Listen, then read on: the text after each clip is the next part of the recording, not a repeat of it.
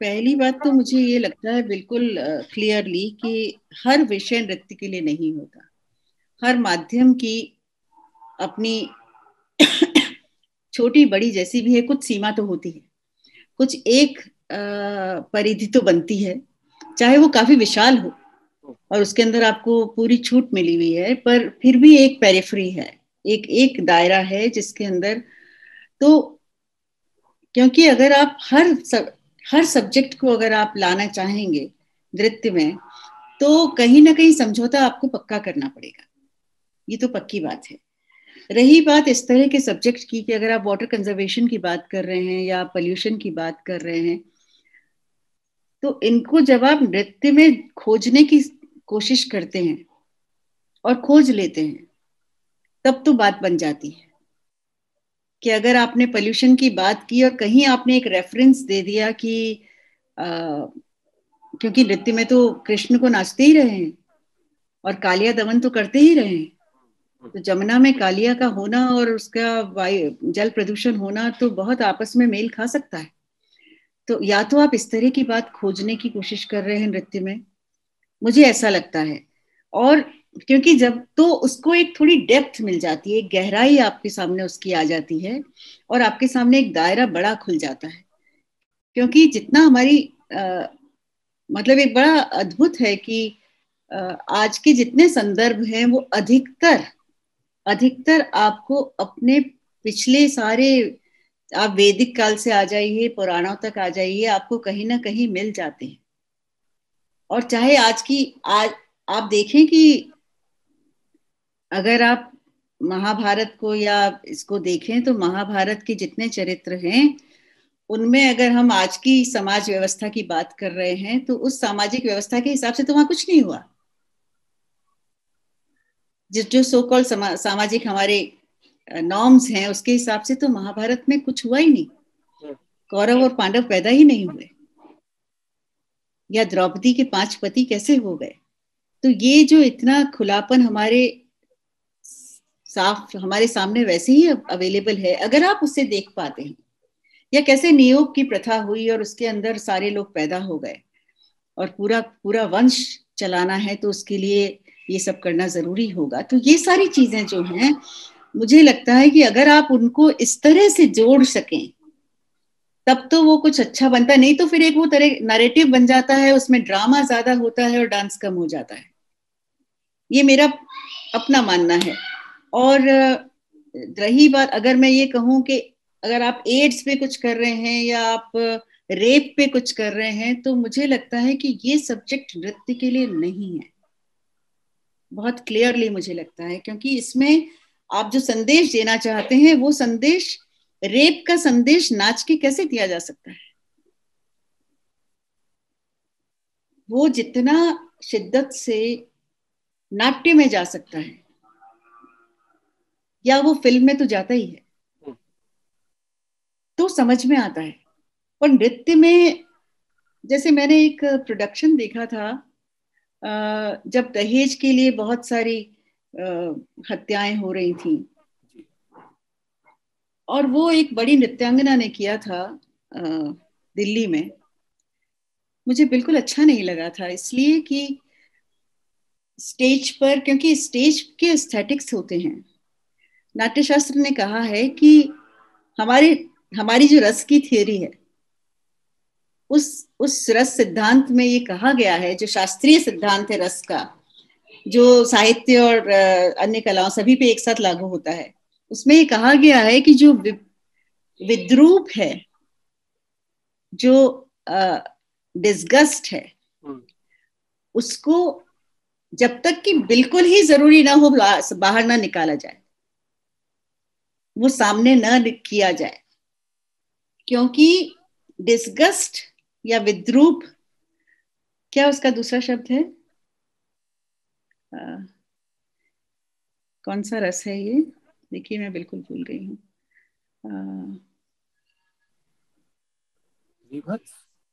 विभत्स।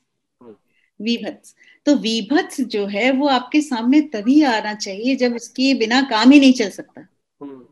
ये हमारी रस सिद्धांत हमारा कहता है। पर आप अगर देखेंगे कि हॉलीवुड की जितनी फ़िल्में हैं, उनमें तो ईटी e फ़िल्म से शुरू हो गया तो विभत्स ही सामने है। सारी। और वो धीरे धीरे तो फिर आपको ह्यूमन ब्रेन अमेजिंग होता है कि वो इस तरह धीरे धीरे आप विद्रूपता को देखते देखते उसे प्यार करने लग जाते हैं, क्योंकि वो आपको अच्छी लगने लग जाती है। ये होता है। और हो सकता है। तो वहाँ उस कार्यक्रम में मैंने, जिस कार्यक्रम का मैं ज़िक्र कर रही थी, उसमें मैंने देखा कि एक फंदा लटकाया हुआ था फांसी का, ऊपर स्टेज से। और फिर उसमें एक फिगर जैसा डाल के उसे लटका भी दिया गया, जो जो कि मेरे लिए तो बहुत खराब था देखना।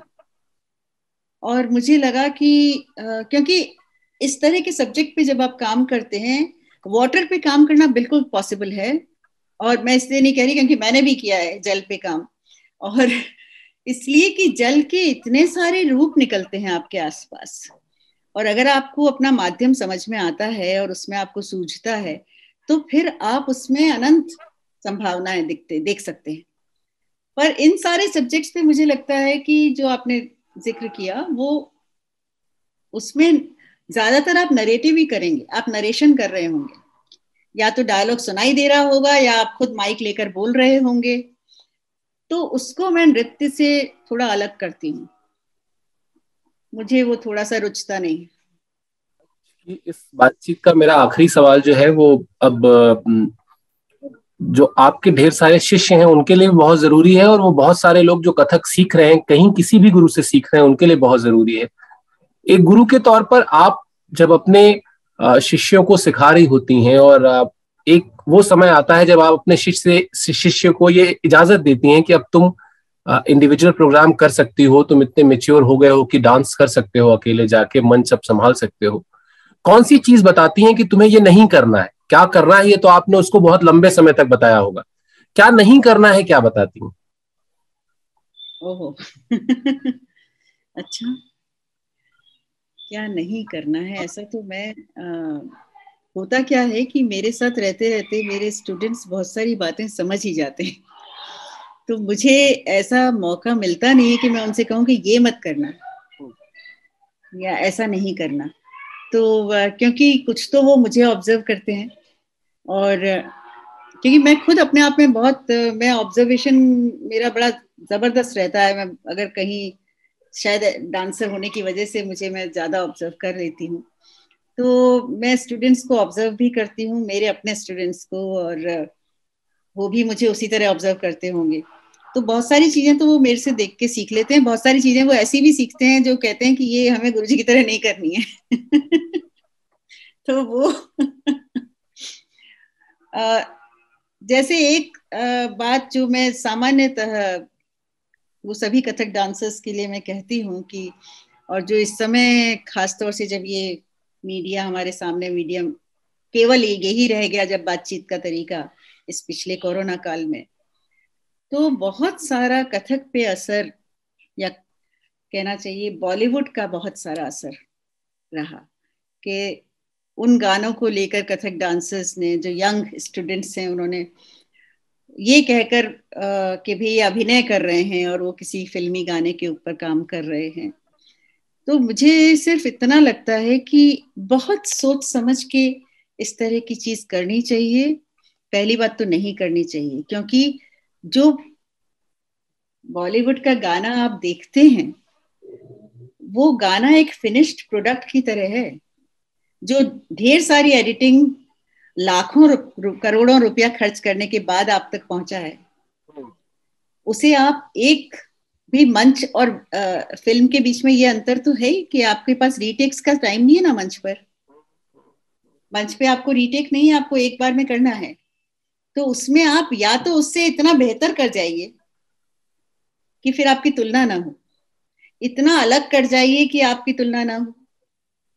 पर अगर आप कहीं इन बिटवीन है तो वो बेहतर है कि ना करें, क्योंकि उससे आप कथक को भी नुकसान पहुंचाते हैं। कथक को भी नुकसान पहुंचाते हैं और कथक के जो अगली पीढ़ी आ रही है, क्योंकि हमारे बाद वाली पीढ़ी ने तो थोड़ा समझा है, अब उसके आगे जो पीढ़ी आ रही है, उसको लगेगा कि ये करना बिल्कुल सामान्य बात है। तो हमें जो अपनी तरह से एक संगीत बनाना, संगीत संयोजन जो हमें आना चाहिए एक डांसर को गायन वादन नृत्य तीनों चीज़ें आनी चाहिए। चाहे वो कर ना सके पर कम से कम उसका एक समझ उसके अंदर हो। होनी चाहिए बिल्कुल। हो सकता है गाना ना आता हो पर कम से कम कान इतना तैयार हो कि आपको या आपको ये पता हो कि मुझे इस राग में ये चाहिए।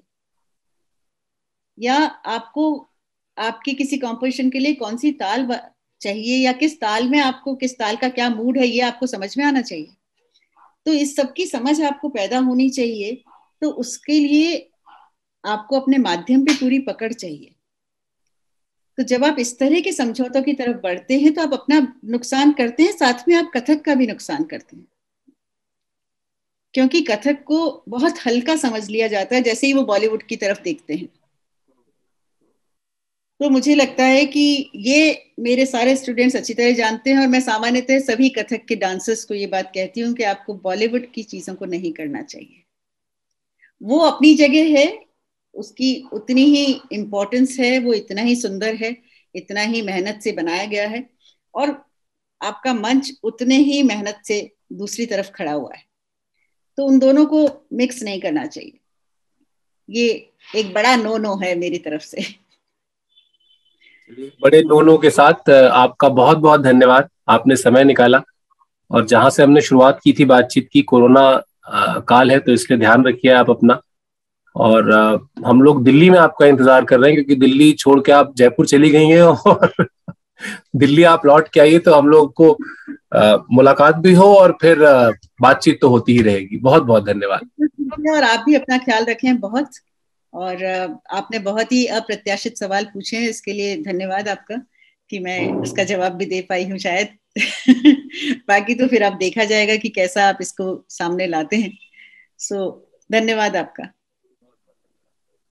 ये वीडियो आपको कैसी लगी हमें ज़रूर बताएँ।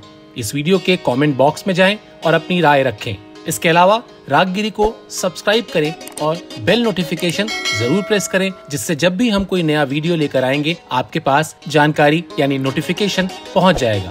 आप वक्त हो तो तुरंत देखें, नहीं तो बाद में भी इस वीडियो को देख सकते हैं। हम आपको बता दें कि रागगिरी भारतीय शास्त्रीय संगीत के बारे में जागरूकता फैलाने का एक मंच है, जो एक रजिस्टर्ड ट्रस्ट है और 2014 से हम छोटे बच्चों के लिए खास तौर पर ये मुहिम चला रहे हैं, जिसका टाइटल है, सुनेंगे तभी तो सीखेंगे।